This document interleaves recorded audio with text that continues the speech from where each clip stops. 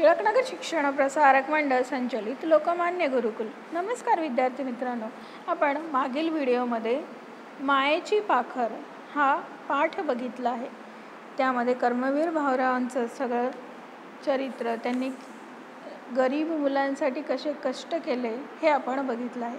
त्याच पाठाचे शब्दार्थ आज आपण बघणार आहोत. हे शब्दार्थ वाचायचे आहेत आणि वहीत लिहायचे आहेत.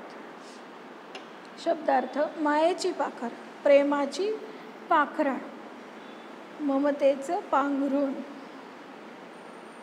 प्रेमाने एखाद्या माणसाने आपल्याला किती एखादी गोष्ट केल्यावर आपल्याला किती छान वाटतं. म्हणून या धड्याचं नाव आहे मायेची पाखर. आता ही मायेची पाखर घालणारे कोण आहेत? कर्मवीर भाऊराव पाटील. आग्रह हेका हट्ट. अवार अवार या शब्दाचा अर्थ आहे अंगण. आज्ञा हुकूम आदेश. पंचपक्वान्न गोड पदार्थ. रुचकर चवदार स्वादिष्ट. चाहूल माग अंदाज.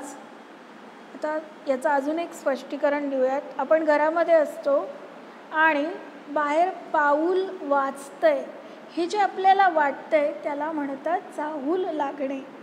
म्हणजे अंदाज येणे आपल्याला. कांबळी गोंगडी पांघरुण आहे एक प्रकारचं. मुख तोंड. हे शब्दार्थ लिहायचे आहेत. त्याचबरोबर आपल्या पाठाखाली जे शब्दार्थ आहेत तेही मुलांना तुम्हाला आपल्या वहीत लिहायचे आहेत. धन्यवाद.